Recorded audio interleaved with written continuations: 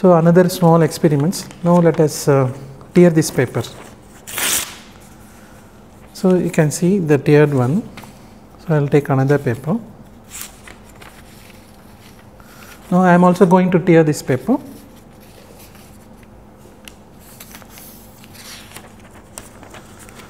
So this has been uh, So see this and compare with that of the previous tiered one. So this is somewhat symmetrical. And how does this has come? A simple chemistry.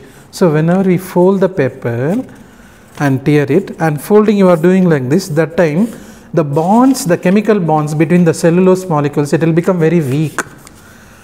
And we are making it twice or thrice. And now if you tear, so it will come as a perfect. The, the weakened bond will easily leave it up. Thank you.